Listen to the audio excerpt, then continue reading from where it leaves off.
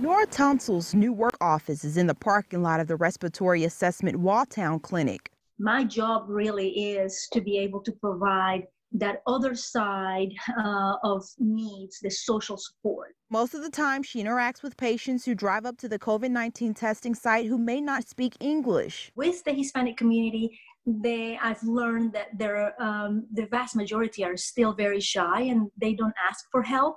Uh, so when they get to speak to me, at least they see a friendly face. They see a face that speaks their language and i am able to communicate with them because uh, for the hispanic community that's probably the number one barrier is their language. Being able to translate and interpret spanish is critical especially during this crisis to make sure people get the help that they need. Cough fever and um, shortness of breath.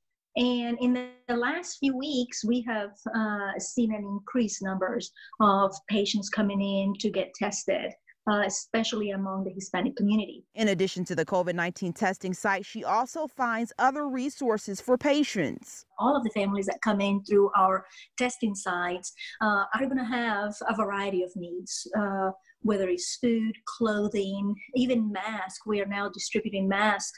Um, they also, some families uh, might need diapers and um, formula for their babies. She says fears of the unknown is the driving factor for why so many people are getting tested. Right now, the biggest fear is bringing the virus home. We have some uh, uh, patients come in straight from work wanting to get tested because they have heard rumors uh, about their um, place of work. So they want to come in and get tested. She says her goal is to empower others and give them the tools they need. It's very convenient. You just go in, we get you checked in, and then we'll proceed with the testing and then we'll wait for results. So it's a very seamless process um, and uh, we hope to keep it that way. So the